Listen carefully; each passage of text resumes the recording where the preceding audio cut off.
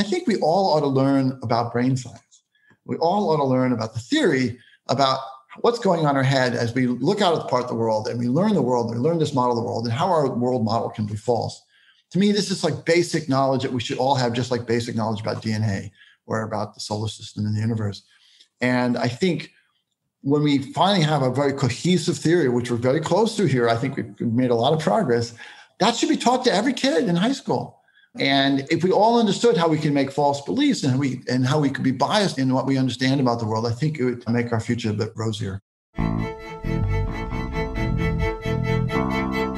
Welcome to Brain Science, the podcast where we explore how discoveries in neuroscience are helping unravel the mystery of how our brain makes us human. I'm your host, Dr. Ginger Campbell, and this is episode 183. If you're curious about how your brain really works, this is the podcast for you.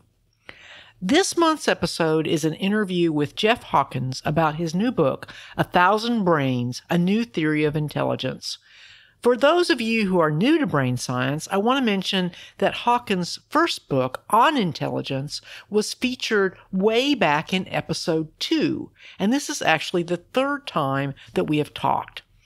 Unlike many of my guests who are driven by the question of how the brain generates consciousness, Hawkins wants to create a theory about how the cortex generates intelligence. As he noted in the excerpt you just heard, this is actually a very critical question that could influence humanity's future. Before we jump into the interview, I want to remind you that you can find complete show notes and episode transcripts at brainsciencepodcast.com. Brain Science is produced independently and relies on the financial support of listeners like you. To learn more, please visit brainsciencepodcast.com forward slash donations. You can send me feedback at brainsciencepodcast at gmail.com. And we also have a Brain Science Podcast fan page on Facebook. If you'd like to get show notes automatically, sign up for our newsletter. It's free and you can get there by just texting the word brain science, all one word, to 55444. That's brain science, all one word, to 55444. You'll also find links to this in the show notes on the website. I'll be back after the interview to review the key ideas and to tell you how you can help me improve the brain science website. So, Jeff Hawkins, it's great to have you back on Brain Science. It's great to be back, Ginger. I always enjoy talking to you. I didn't realize it had been over three years since we last talked. When I got your new book, I was thinking, didn't we talk after that 2019 paper? And then I realized, no, we haven't talked since 2017. But at any rate, I hope I have a few new listeners since then. So, would you just start out by just maybe telling my listeners a little bit about your unique journey as a neuroscientist? Yeah, so I fell in love with studying the brain right when I was finishing up college and I was studying electrical engineering. And I decided to change career paths and say, well, instead of being an electrical engineer, I want to be a theoretical neuroscientist. I want to understand how the brain works. And so I've been trying, I have been pursuing that ever since. It it took me a while to make the full transition. And, and along the way, I, I had a career in technology. I started a couple of um, handheld computing companies, Palm and Handspring but all the time, I was trying to get back into neuroscience, and I won't go through all the details of that history.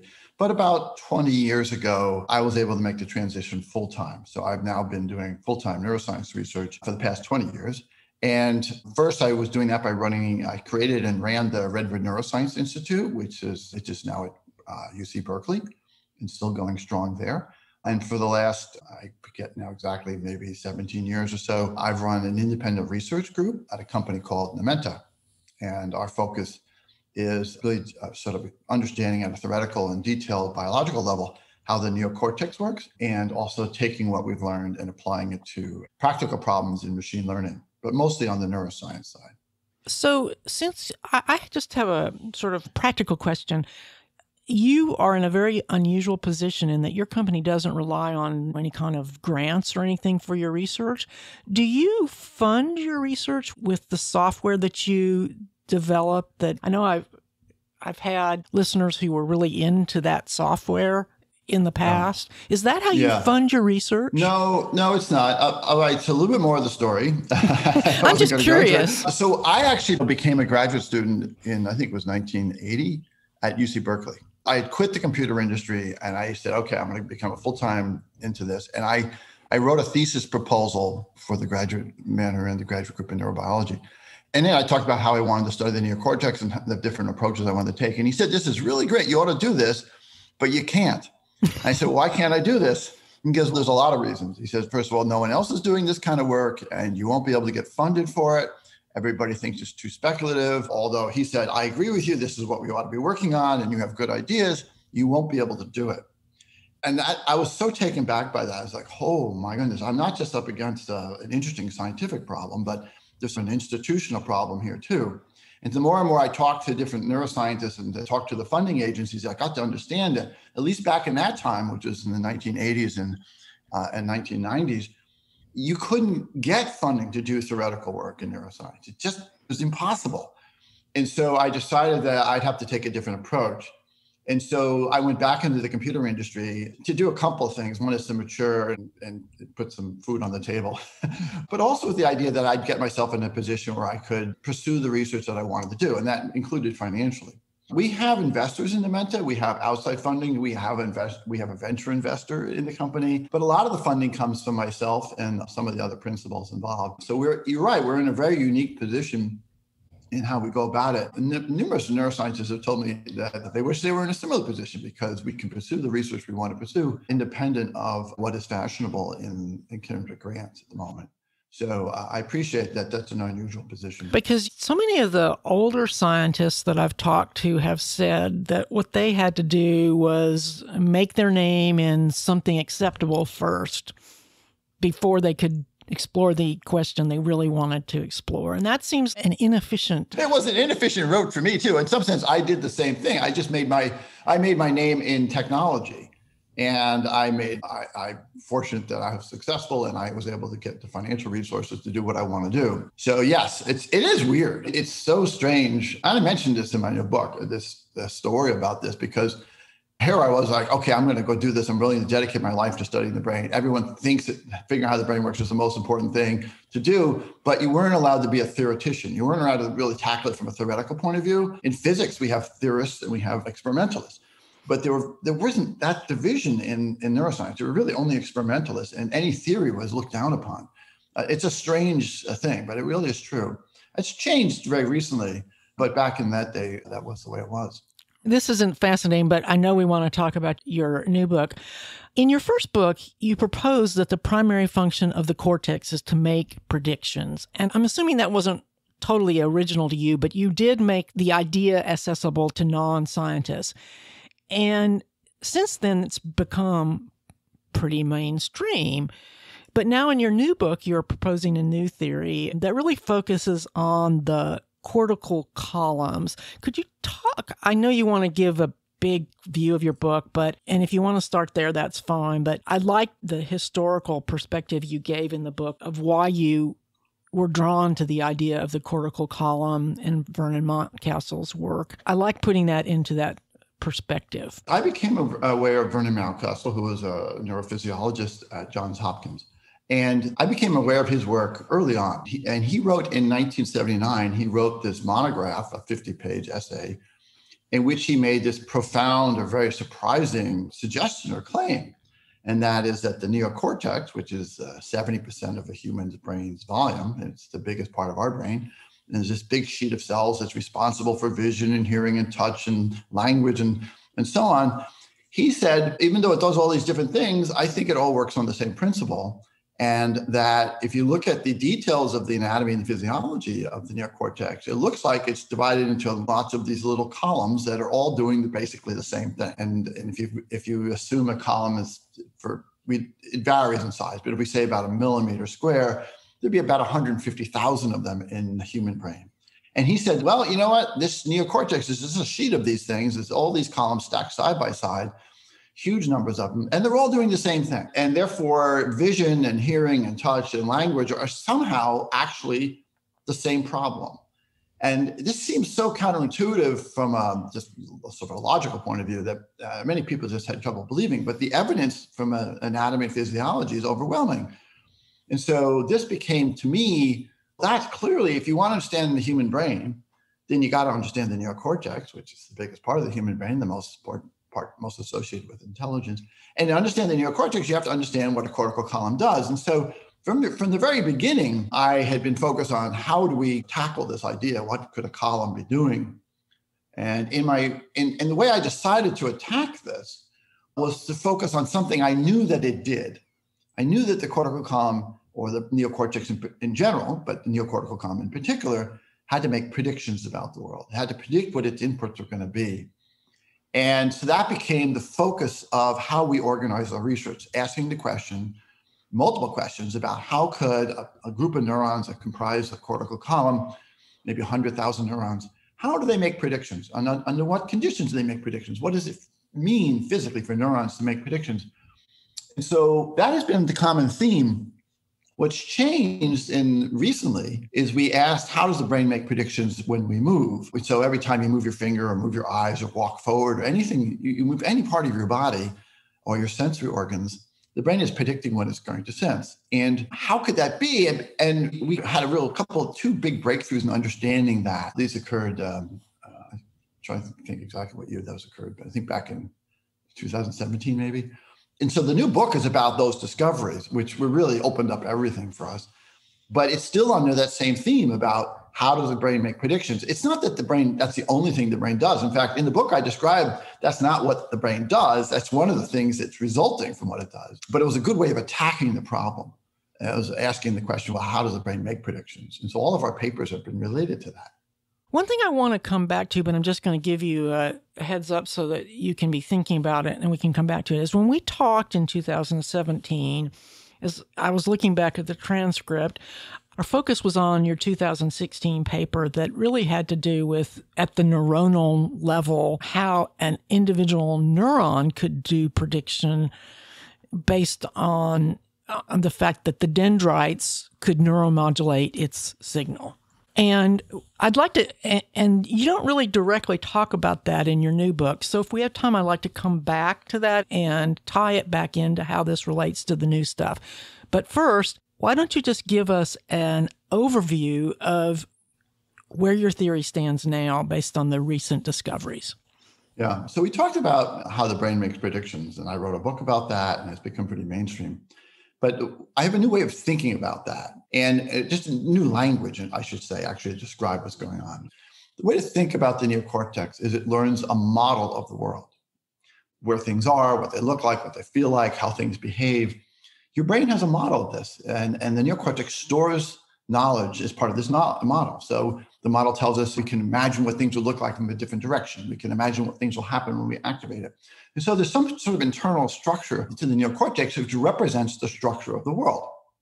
And the new theory is we focus on how that model is learned through movement like when we move our body and how the model allows us to predict inputs as we move about in the world. We move our fingers, we move our eyes, and we're constantly moving, and the inputs to the brain are constantly changing, yet we're constantly predicting what's going to happen next. So we had two sort of key components of this discovery. The first is that the neocortex, as we talked about earlier, is built up these cortical columns. And we realize that each cortical column is a complete modeling system. Each cortical column on its own gets sensory inputs and generates motor outputs and can learn the structure of whatever it's looking at. If it's part of the visual system, it would be looking at input from the retina. It's part of the somatosensory system, it would be getting input from the skin. But each of these thousands and thousands of columns is a complete modeling system. And the second thing was we, we discovered that the key to how the modeling system works in each of these columns. In the book, I use the word reference frames, and I talk about what they are and how that how that allows structure, storing the structure of the world. But I also talk about how we believe what's going on in the cortex is the actual neurons are building these reference frames that store knowledge are the same idea, the same basic mechanisms that's going on in an older part of the brain. Uh, many of your listeners will be familiar with grid cells and place cells in the hippocampal complex. And that's an area that's been very heavily studied over the last few decades. We think the same basic mechanism that something like grid cells are operating in the neocortex and when they are providing this reference frame.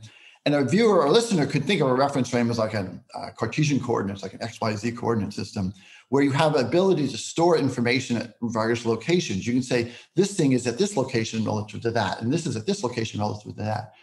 And so we literally build up in our brains, each cortical column learns the structure of something or many things using reference frames. It's like little CAD programs, computer aided design programs in, essence. Those two things, the fact that there was thousands and thousands and thousands of models going on simultaneously, and in each of those is built using reference frames, using these mechanisms that were evolved a long time ago in an older part of the brain called uh, that we call grid cells and, and place cells. There's something equivalent going on in the neocortex. And so that with that, that whole picture, the whole uh, how we understand the world and and how we move about in the world and how our bodies interact with the world came into place. It was a, a big leap forward in our thinking. I think it might be helpful if you take us back to how the hippocampus does what it does so that it'll be easier for listeners to leap to what you're saying that the cortical columns do. Yeah. I think that's a great way of going about it. In fact, that's how we did it too. Here's a way to think about it. The, the, hippocampal complex has got a number of different parts of the brain. these are all very in the center of your brain. They're like they're maybe like the shape of the size of a, a small egg. You have two of them on each side. And there's things called the hippocampus and the entorhinal cortex, and there's other brain regions that are all these are all tightly packed in the center of your brain. Starting in, I believe it was 1990 to today, there's people started discovering these remarkable cell properties in the hippocampal complex. And one of them was the first ones to discover called place cells, and then there's things called uh, grid cells. What they discovered that is these cells allow an animal. Uh, they first discovered these in rats, but we know they exist in all mammals now, as far as we know. They allow an animal to learn a map of its environment. So if I'm in my house right now and I know where I am. Just the fact that I know where I am means there's neurons that know where I am. Those neurons are in the hippocampal complex. The place cells and the grid cells are a way of mapping out your space that you're in. And as you move about, they update their activity to reflect where you are. It's all like they build a map of your world. And this map is in these is implemented by these grid cells and place cells. And they allow you to know where things are and how to plan to get from one location to another. So these have been studied quite heavily they work on very clever mechanisms and surprising mechanisms. It's not completely understood yet, but we've learned, the world has learned a lot about how these cells work. What we realize that is that when you learn a map of your environment, whether it's your backyard or your town or your, your house, that's very similar to how we learn something like what a coffee cup is. And in a sense, if I think about myself moving around in my house, it's very equivalent to me moving my finger over a coffee cup, or or even if I'm looking at the coffee cup, attending the different locations on the coffee cup. It's the same mechanism that the older parts of the brain use to learn maps of your space and your environment as you move through it. We've been now understand or uh, that the cortex is doing the same thing for each part of your sensory organ. So each of your fingers are like five people wandering over this coffee cup that's in my hand right now each one is building a map of the coffee cup in the same way that you build a map of your backyard or your house.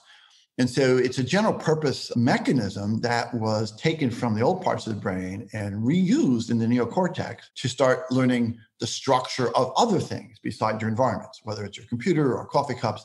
And in the book, I go into even further. I say it can go beyond physical things. The cortex can learn the structure of politics or mathematics or language. This gets back to Mountcastle's common cortical algorithm the idea that the neocortex is learning models of the world based on movement and reference frames applies to everything we know, all our knowledge. And so it opened up a whole new way of thinking about how the neocortex works. I want to take a moment to share this month's sponsor, Text Expander. This is an app I use all day long because it allows me to avoid repetitive typing. I can constantly update my list of snippets and then expand them to whatever I need. It saves me time and helps me avoid typos. And it's easy to use. And since it's available on Mac, Windows, Chrome, iPhone, and iPad, I can use it everywhere. There are also great tools for teams. You can get 20% off your first year of Text Expander if you sign up at textexpander.com forward slash podcast. That's textexpander.com forward slash podcast. Please don't forget to tell them that you heard about it on Brain Science. Okay, so when you use the term reference frames, would it be accurate for me to say okay, when I'm looking at the hippocampus and the surrounding regions, everything is referenced to the animal? But when we're looking at things in the cortex, it's in reference to its the objects or whatever we're modeling. Not quite. So here's the clever thing about it: the grid cells and the place cells learn a model of the environment, and it's referenced in the reference frame of the environment. So my the room I'm in right now, my living room, I have chairs and sofa and tables and lamps and things like that. This model where they are, but the model is relative to where each other. They're not, and so that model exists independent where I am. That's the clever thing they do. They build this model of the world using a reference frame that's relative to the room, not to me. I have also reference frames around my body. It turns out that parts of the neocortex model my body, and therefore I have reference frames for my body. But the model of my world is independent of where I am in it. And this is why I can enter a room that I've been I've been in before, but I can enter from a new direction or stand in a new location. I'm not confused because the model is relative to the room. And same thing is going on the cortex. It's relative to the objects in the world. So, what kind of evidence do we have so far to support this insight? So, uh, we derived these ideas primarily by looking at existing empirical data and uh, matching them up with theoretical constraints. When we first came up with this idea about reference frames, that was purely from a, a deduction. We were thinking, okay, the cortex has to make predictions about what it's going to sense as we're moving about in the world. And I described this in the book. I described the, the literal thought experiment I went through to, to say, oh my gosh, there has to be reference frames. But then we didn't know how that could be. We said, how could neurons do this? It seems almost impossible. And so we were very hesitant to talk about it too much because it seemed like we had no idea how it could come about. And so then we were thinking about it for a while. And then we said, oh, wow, look, these, there are these reference frames in the entorhinal cortex and the hippocampus. And maybe, as I suggested, that it's using the same mechanism, but we had no evidence of that at the time that the neocortex would use the same mechanism as the entorhinal cortex and the hippocampus. But then we said, okay, well, it seems too good to be to not talk about. So we, we, we wrote our first paper about it. But then we learned that there actually was new empirical evidence we hadn't known about, where people are discovering the existence of grid cells in the neocortex. Now, this they were discovering in the prefrontal areas of the neocortex, but our argument is that it's going to be everywhere in the neocortex because every cortical column is doing basically the same thing. And so now there's evidence that this growing evidence more and more that's that there are grid cells and, and place cell equivalents in various parts of the neocortex. And so that empirical evidence is growing. I don't think yet there's any empirical evidence for it being in the, the primary and secondary sensory regions as we predict, but I'm very confident that that will be found.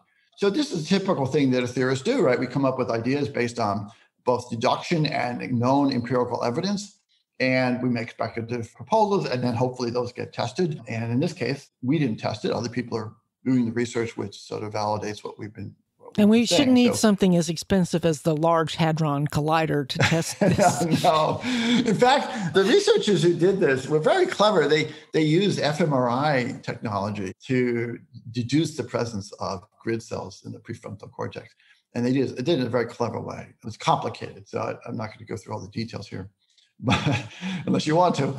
But so it, it was using existing uh, experimental setups. It was literally you could just take a human and ask them to do some things inside of an fMRI imaging machine.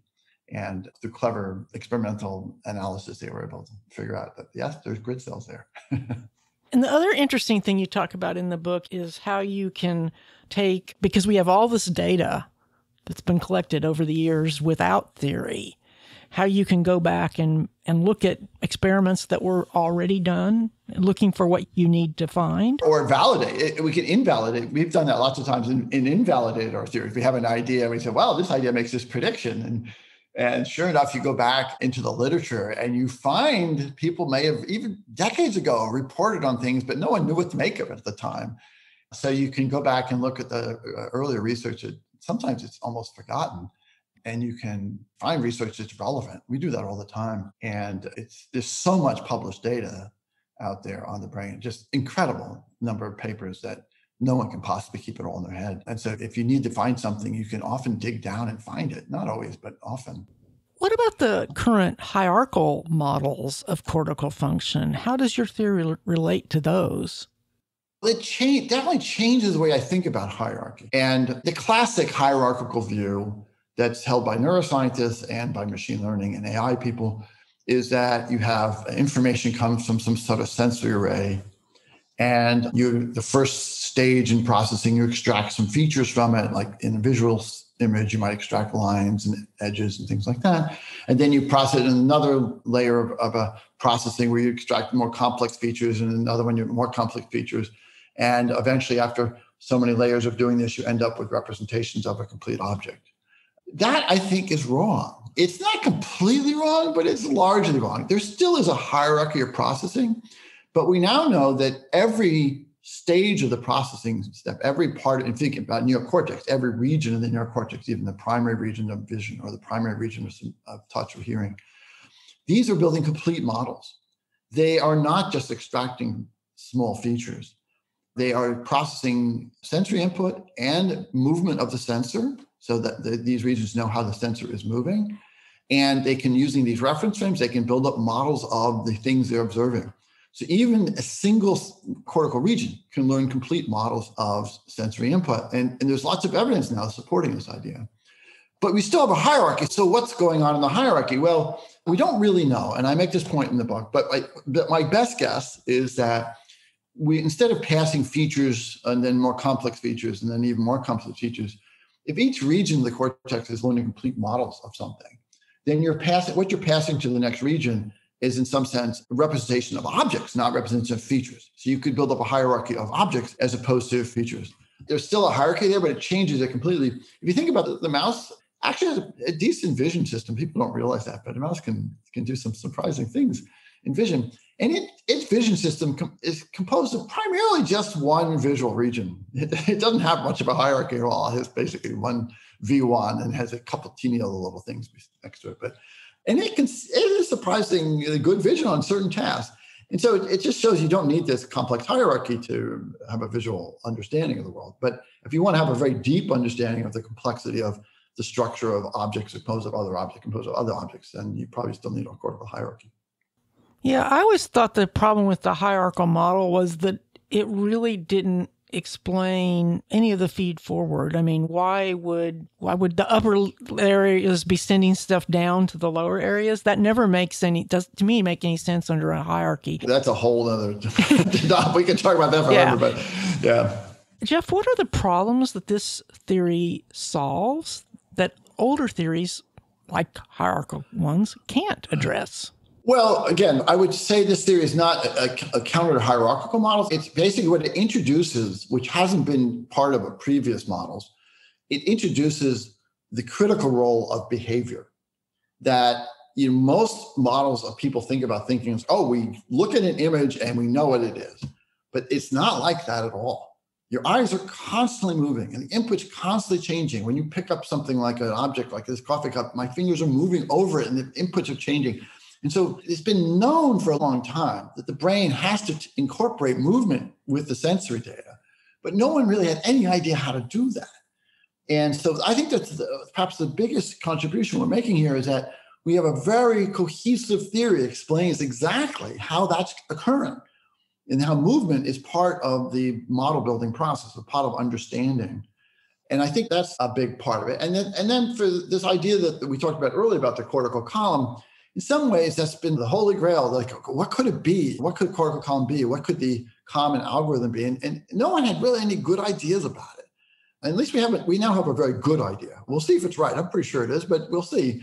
We have now a very comprehensive idea. It's a sensory motor learning system based on reference frames and movement, and we can explain how it works. And I think that's been an answer to a puzzle that's been, been bothering people for a long time. And, and, and as I said earlier, also the idea that we've now thoroughly incorporated movement into the, the whole brain mechanism. And uh, that hasn't really, people have known that had to happen, but they didn't know how to do it before.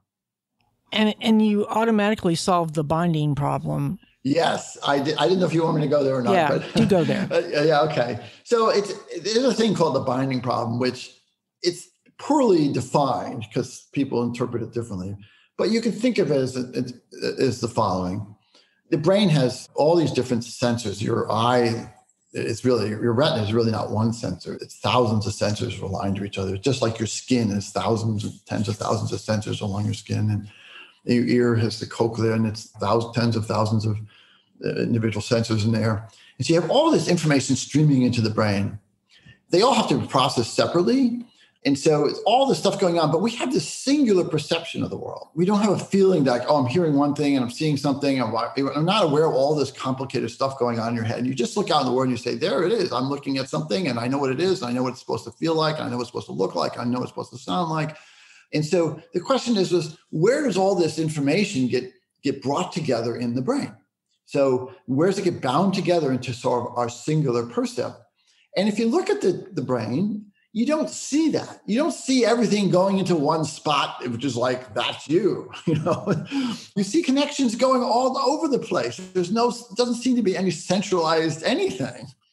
Well, how could that be? And our theory, which I should I'd be remiss not to mention, we call this the thousand brains theory to reflect the fact that you've got these tens of thousands of models in your, in your cortex.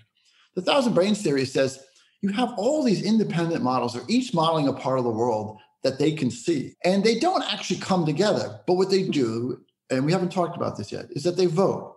So most of these long range connections in the neocortex that go from all over the place, one side the other, up and down, all over the place. There's, there's this everywhere. You see these long range connections connecting parts of the neocortex together.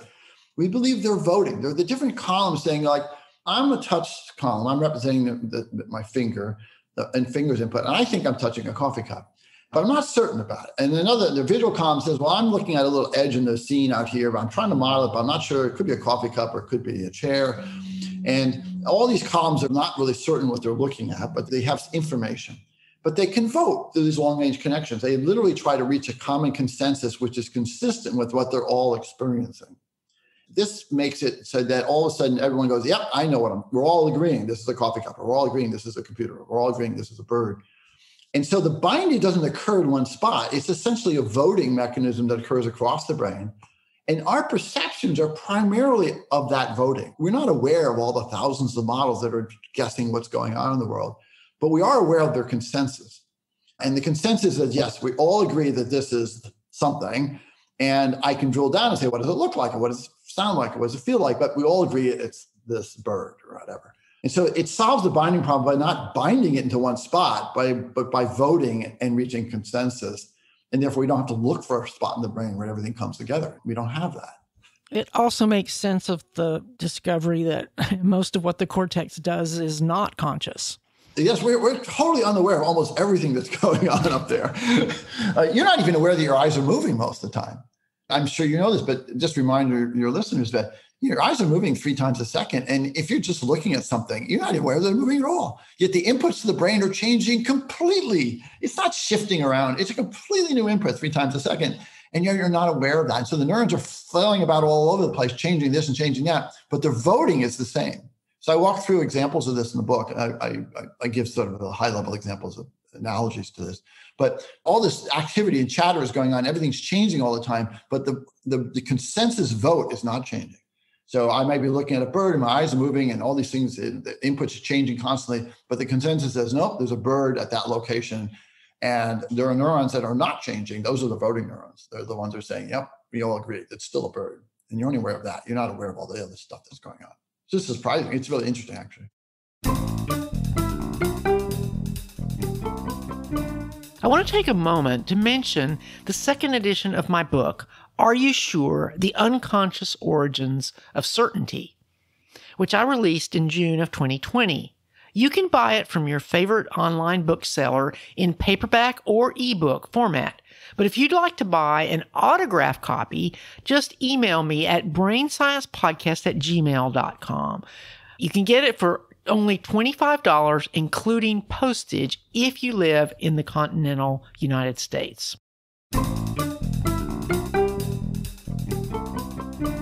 Jeff, what do you think at this point are the key unanswered questions? I think if you think about the brain overall, that's a very big question. I'd rather just focus on the ones that I'm trying to right. right that's now. what I meant. Okay. okay. Um, Your key unanswered questions? Yeah. I, in fact, I'm I'm really excited because I think just in the last few months, I've made some significant problem on one of these questions. We got, we, we, you briefly mentioned earlier this issue that reference frames are they relative to the object you're viewing or relative to your body? And I said, well, there's reference frames relative to the objects. And I also mentioned there's reference frames relative to your body. So the movement of my eyes is relative to my head, and the movement of my fingers is relative to my hand and my body. And so what we say there's a, there's a need for doing what's called a reference frame transformation. I have to be able to convert information from well, if I'm bending my finger, which is moving it relative to my body, how is that moving relative to an object I'm touching, such as my coffee cup? It depends on the orientation of the coffee cup. If the, the coffee cup is tilted one way or tilted the other way, the same movement of my finger results in a different movement relative to the coffee cup. So if I if the coffee cup is on its side, moving my finger down would move it along the edge of the, the side of the coffee cup. But if the coffee cup was vertical, moving it would move from the top lip to the bottom lip, something like that. Anyway, so there's a need for reference frame transformations to go between these different reference frames. I believe this happens everywhere. That is, every cortical column has to do reference frame transformations. Every cortical column has to say, I'm getting my input from someplace, but that input is in one reference frame, but I need to model something in a different reference frame. And so how does how do the neurons do that? And I'm onto it. I, I, would give this, I'm very excited about it now, but we'll have to see if it, it, plays out. I believe that this is occurring in the thalamus. And some of your listeners may know that the thalamus, it's a, a smaller structure in the middle of your brain, but it's intimately connected to the neocortex. That is, every part of the neocortex projects to the thalamus, and the thalamus projects back to the neocortex. It's just part of the neocortex. It's just relocated someplace. And it's been a mystery what the, what the thalamus does. Uh, sometimes it's called the relay center. There's a lot that's known about its anatomy and its physiology, but very little is known about what it does. Starting a couple years ago, we had a project to figure out what could we deduce about the function of the thalamus. And one of the things we, we came up with, we said, it looks like it, it could be doing something that's called a multiplexer, which is an engineering term. It's just a way of routing signals. You can take a bunch of signals and say, well, they're coming out of these wires, and we're going to switch them over to come out on those wires. And so uh, I've been working on a theory that the thalamus is actually doing this reference frame transform, and that's why it's so critical. Every part of the brain, every part of the neocortex has to do this, and a lot of things are come into place for that. So that's one of the things I'm working on. I think another big unanswered question is really understanding something you brought up earlier, which is what's the true nature of the hierarchical connections? You know, what happens when information is being transported from one region to another region to another region? Our new theory, the thousand brain theory, says each region on its own is able to build the complete models of the world. So, what exactly are they passing to the next region, and how does that next region work with that? There's a lot of complexities in that that we don't understand yet. In some sense, I feel like I understand the hierarchy less than I used to understand it, and I want to. I'd like to get to the bottom of that. So, those are two things that that we're working on. I read the 2019 paper that you reference in the book, and you mentioned that, yeah, we found the grid cells, at least in the frontal lobe. We didn't find them. Other people found them. Yeah. yeah. I, am using the generic we yes, as in, yeah, yeah. Um, but there's, there's got to be something you call a displacement cell, which I assume is an, an analog to the place cells in not, the, not really. It's the second piece of the puzzle. Grid cells alone are not enough. Yeah, that's right. We deduced purely deduction a, a, need for a different type of representation and therefore a different type of cell that we just call displacement cells. And it represents the relative position of two things or the relative location of two things. You can think about it the displacement, how far away is my table from my door type of thing. It's, it's a very rough analogy. And we deduced the need for this. We wrote about this in our 2019 paper. We talked about its attributes, what it would do, why we need it, how they would interact with other cells. But we have no empirical evidence for it yet. I'm not sure we've even looked yet. I, I, it's almost certain there's something like that there. I'm very confident. It's just, it's not like anyone was looking for these things. there are many cells in the brain and the cortex, in particular. When researchers record from cells, they have no idea what they're doing. And so when people report the cells are doing something in the cortex, they're, they're only reporting a subset of the cells that they can actually try to identify as doing some function. but usually well over half the cells are just unknown what they do. So there's lots of cells in there that can be doing this. Another thing I'm working on right now, I didn't tell you this, another thing I'm working on is I have a new theory of what mini columns are doing as part of this thousand brains theory. So thousand brain theory, by the way, opens up a whole new way of thinking about a lot of different things, like the thalamus and now mini columns. Just to remember, mini columns are these very cells in the neocortex are aligned in these very skinny little strings about 120 cells each. And there's maybe 150 million of these. This is how the neocortex evolved. So these are what's called the mini columns, these very thin little structures that contain cells 120 at a time right next to each other. And there's been a long debate about what they do. Do they do anything? Why are they there? And so there's a lot of evidence that they do something, but no one knows what it is. Uh, but we we have a theory about that now, and that hasn't been published. By the way, I think, excuse me, I, I want to get into the displacement cells should be part of the mini column. So that's why I want to get in there. That's how we got there. how would you design an experiment to falsify your theory? We talk about that both in our papers a lot. There's there's lots of ways you could falsify it. Well, there's a lot of predictions that we make that could turn out to be wrong. First of all, one of our strongest predictions was, was that we'd find grid cells in the neocortex. That was one of our strongest predictions. And at least for some parts of the neocortex, that's been found already. So now I have to find some other things that, you know, this, remember we talked about this voting between the neurons, between the columns. That says that these long range connections are voting connections. And therefore, they should have stable representations. That is, if I look at which cells are active, they should be stable as long as I'm looking at the same object or I'm touching the same object. And as far as you know, no one's ever tested that hypothesis or, or measured that. What makes a good prediction is it's, it would have a surprising answer. okay. So that's a surprising answer that you would look at these cells and we predict, we can even tell you where they are in the cortex, which ones to look at. And what we'd expect you to see is that you'd see a sparse activation, mean most of them wouldn't be active, but a few of them would be active. And the few that would be active would be stable while the other cells in the cortical column are changing. And so that's a that's another type of we have a lot of predictions like that that the good predictions again are ones that are that have a surprising answer to them. Like you wouldn't have expected this to happen. And of course we can only falsify a theory. You can never prove a theory. You can always say well we've tried falsifying this way we've tried falsifying that way. But you can never like prove it. That's just one of the dictums of science. Um, so there's a lot of ways you could disprove the theory. That's the whole thing about Einstein's theory of relativity is he predicted a bunch of stuff that was really weird. Yes, exactly. and, and, in his case, people couldn't, some of those, you know, it took decades and decades for people to actually prove it.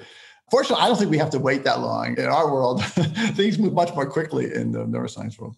Jeff, you sort of alluded to this, but could you talk a little bit about and understanding that we can't prove the theory, but let's go from the assumption that it's essentially true.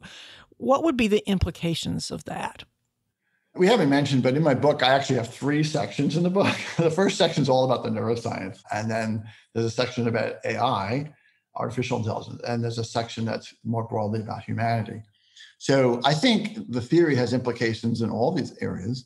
I, I search in terms of neuroscience, there are tens of thousands of neuroscientists who want to understand how the human brain makes us intelligent. And I think this provides a really a very a missing framework to understand what the whole picture is about. And so to me, this the one of the advantages of this theory is it, it does produce a lot of testable hypotheses and, and a sort of a a cohesive theoretical framework for saying, oh, now we understand what intelligence is. Now we understand what's going on when we see things and when we learn and how we learn the structure of the world and so on. So that's a pure scientific interest, like how does the brain work? It might have some some relevance to certain brain related diseases, but that's not my focus, and I, I don't make that claim yet. But then I think from a practical point of view, in other aspects of our lives as humans, it's going to have a huge impact on artificial intelligence because it explains what it is to be intelligent. And our current AI systems aren't like that at all.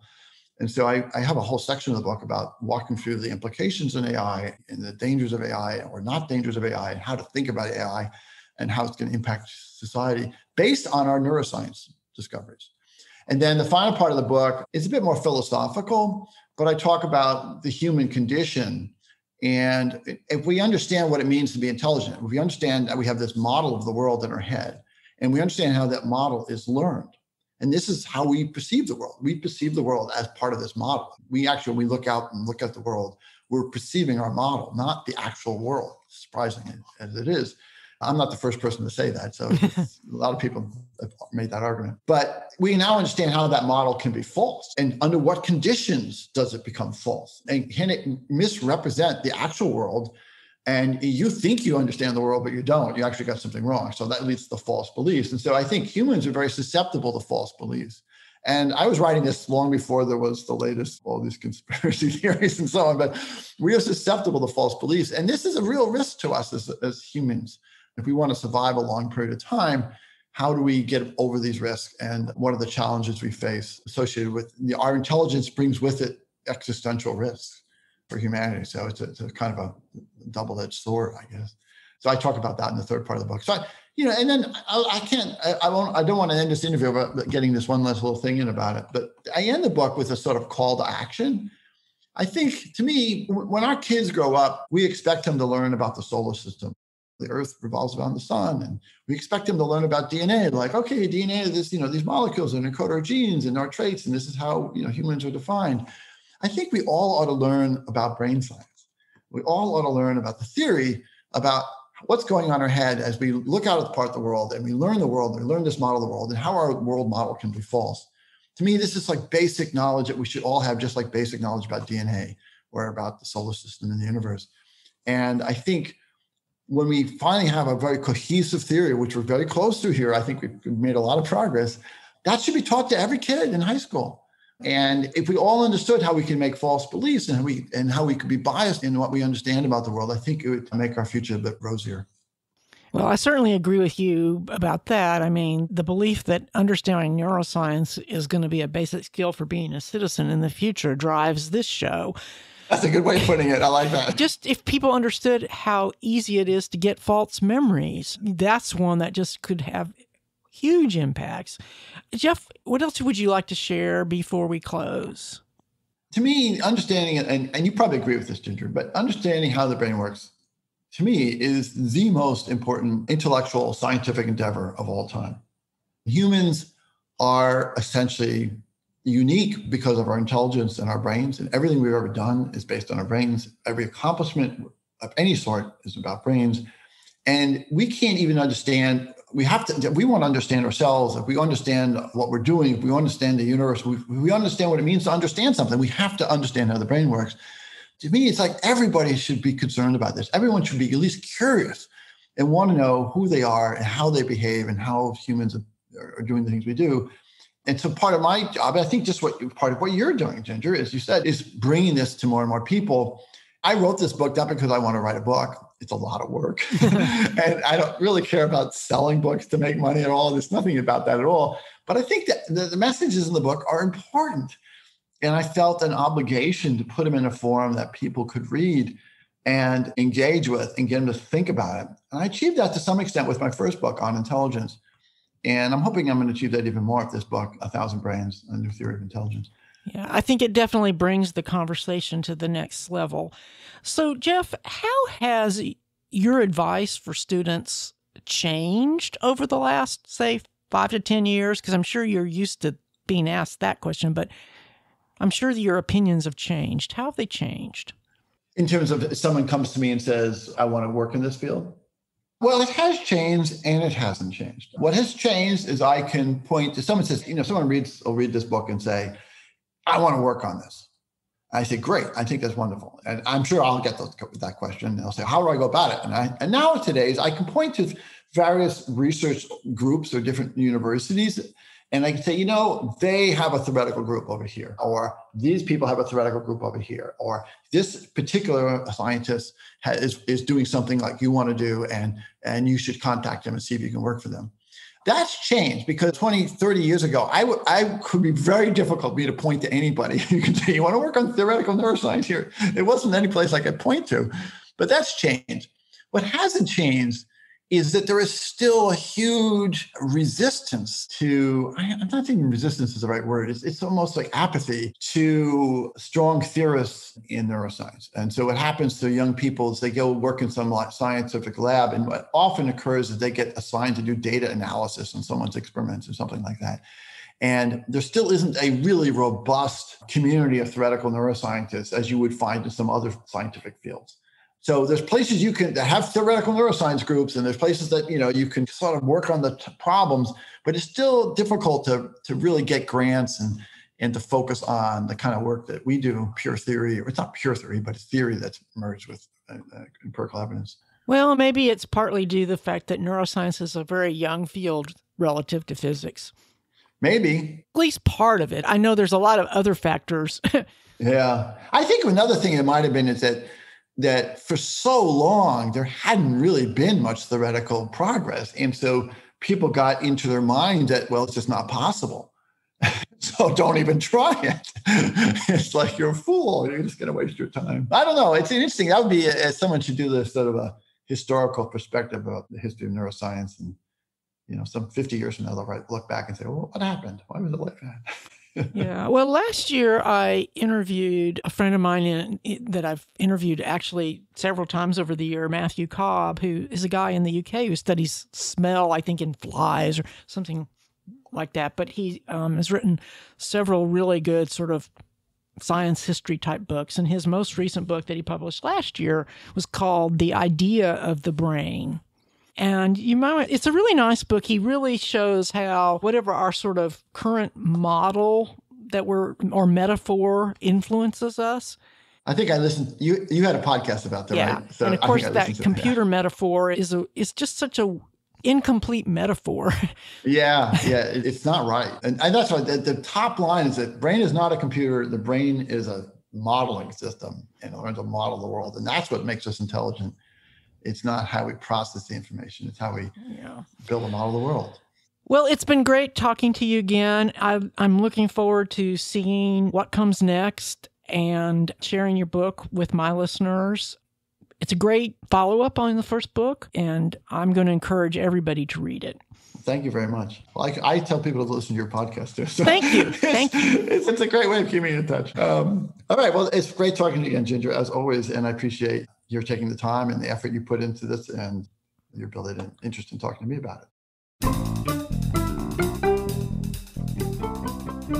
It was great fun to talk with Jeff Hawkins again because his passion is contagious. His new book, A Thousand Brains, A New Theory of Intelligence, makes the work of his team accessible to readers of all backgrounds. I'm going to summarize our conversation, but I highly recommend that you read this book yourself. In On Intelligence, Hawkins emphasized the idea that prediction is a key feature of cortical function and intelligence. This idea has become fairly mainstream. But now he's tackling the bigger question of how the cortex accomplishes this task. Many researchers have assumed that somehow the cortex creates a model of both the body and the external world. But Hawkins has tackled the question of how these models are actually generated by real neurons and their connections. I refer you back to episode 139 when we talked in more detail about how neurons differ from the artificial neurons that appear in the so called neural nets of artificial intelligence. But I will mention that much of what real neurons do is actually analog, despite the use of action potentials, which are the all or nothing spikes that are used to transmit signals between neurons. Hawkins loves to use our perception of a coffee cup as a simple illustration of how our brain models the world. This idea also appeared in episode 139, but there are a couple of new ideas that he shared with us today. One is the idea that the cortical columns, first identified by Vernon Mountcastle, appear to be the primary functional unit of the cortex. That's why he calls his theory a thousand brains, because he estimates that there are 150,000 cortical columns, and he proposes that each column is generating its own model and that these compete to create the world we experience. What would be required for a cortical column to create a model? Well, it needs inputs and it needs to know how the inputs relate to one another. This is where the idea of reference frames comes in. Experiments with rats have shown that the combination of grid cells and place cells in their hippocampus allow them to know where they are in a room, as well as where objects are relative to their body, or more specifically, their heads. Since the hippocampus is a very ancient brain structure, Hawkins argues that the use of what he calls reference frames is very old from an evolutionary standpoint. A key theoretical leap described in A Thousand Brains is that modeling the world would require a reference frame that is relative to the, an external location. For example, where is the handle of the coffee cup relative to the cup as a whole? An example Hawkins used was modeling a room with objects described in terms of their position in the room, not relative to the person entering the room. But determining body position in the world and modeling external objects requires movement. Our eyes are constantly moving as we perceive the world around us. Now, the idea that movement is critical is not new, but Hawkins incorporates it with two other key discoveries. First, the idea that the, each cortical column creates its own model, and second, that the key to how these models work is reference frames, which is like having an XYZ coordinate system to describe the location. How does this affect our hierarchical model of how the brain works? Instead of putting raw data in the bottom and having a final output or model, Hawkins argues that complete models are being built at every level. This seems like a strange claim, but he says it is supported by empiric evidence. Each level is passing on a complete model, not a particular feature as is traditionally assumed. One piece of evidence he shared was that the mouse has decent vision, even though its visual system lacks the complex hierarchy that we see in primates. But he also suggested that the hierarchy is probably important to having a deeper understanding of the world. Hawkins emphasized that his theory is not anti hierarchical, but rather adds the importance of behavior and the role of constantly changing inputs. The importance of a movement has been acknowledged for years, but this theory explains what might be happening. It also solves the binding problem because there's no need to figure out where everything comes together. Hawkins calls this the thousand brains theory to capture the fact that the cortex is creating tens of thousands of models they don't come together, but via long range connections, they vote and create a consensus about what is being perceived. For example, his coffee cup. We perceive whatever gets the most votes. This also makes sense of the paradox that most of what the cortex does is unconscious. For example, we are not aware of our eyes' constant motion. Now, you might argue that this sounds esoteric, but the key idea is that it generates testable hypotheses. It generates testable predictions. So far, some of the predictions have held up to review of the existing data, while others are awaiting further exploration. Hawkins made another important point that I think bears emphasizing. He said, We can only falsify theory you can never prove a theory. So, what are the key unanswered questions? One is, well, how are these reference frames relative to objects actually realized in the brain? He thinks it might involve the thalamus, but we don't know the answer to this yet. Another question is, what is the true nature of the brain's hierarchical connections? What is being passed from one level to the next.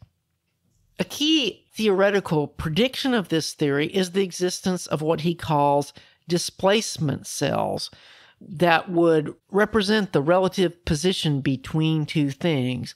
This is described in the 2019 paper that I will link to in the show notes.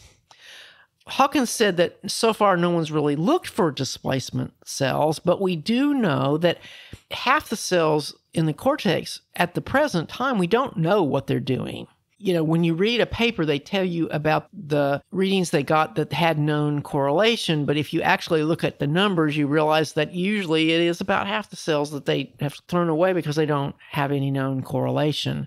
And I'm going to talk some more about this idea in an upcoming episode.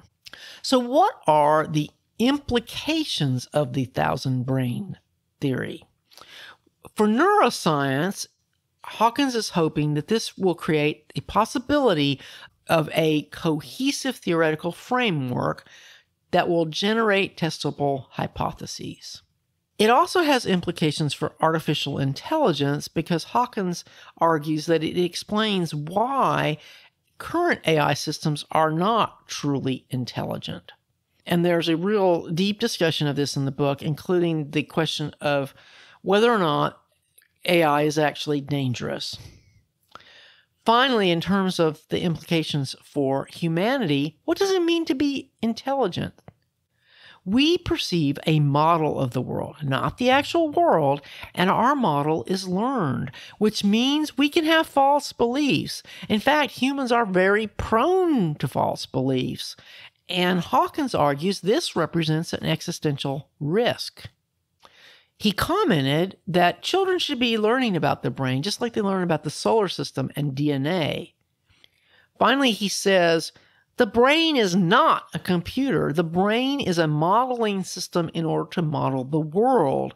And what makes us intelligent is not how we process information, it's how we model the world. This is a critical concept, not only because our models can be wrong, but because a lot of human conflict appears to be rooted in our conflicting models. Jeff Hawkins' new book, A Thousand Brains A New Theory of Intelligence, is highly accessible to readers of all backgrounds, and I highly recommend it for anyone who's curious about what the brain really does. All the technical papers that describe Numenta's work are freely available, and I will include links to these at brainsciencepodcast.com. I'd love to hear your feedback about this episode and the show in general. You can write to me at brainsciencepodcast at gmail.com. And don't forget, you can get complete show notes and episode transcripts at brainsciencepodcast.com. You can also sign up for our free newsletter so that you can get show notes automatically. To get the newsletter, just text brain science, all one word, to 55444. That's brain science, all one word, to 55444. I also hope you'll check out my book, Are You Sure? The Unconscious Origins of Certainty. And if you want to support the show, please go to brainsciencepodcast.com forward slash donations. Finally, I want to take a moment to talk about the website. I recently added a search bar at the top of every page, but I realized that it's become increasingly difficult to find what you're looking for because there's nearly 15 years of content. I'm in the preliminary stages of redesigning the website and I need your help. If you have thoughts or suggestions, please write to me at brainsciencepodcast at gmail.com. I'm also looking for a few volunteers who are interested in becoming more involved in this project. Just email me at brainsciencepodcast at gmail.com. Next month, I'll be talking with Mark Solms about his new book, The Hidden Spring A Journey to the Source of Consciousness. Solms worked closely with the late Jaak Panksepp, and he argues that a viable theory of consciousness must incorporate the ancient origins of emotion. I know you won't want to miss this episode, so be sure to sign up for the newsletter either at the website or by texting Brain Science to 55 444. You can also subscribe or follow Brain Science in your favorite audio app. Thanks again for listening. I look forward to talking with you again very soon. Brain Science is copyright 2021 to Virginia Campbell, MD. You may copy it to share it with others, but for any other uses or derivatives, please contact me at brainsciencepodcast at gmail.com. The theme music for Brain Science is Mindfire, written and performed by Tony Catraccia. You can find his work at syncopationnow.com.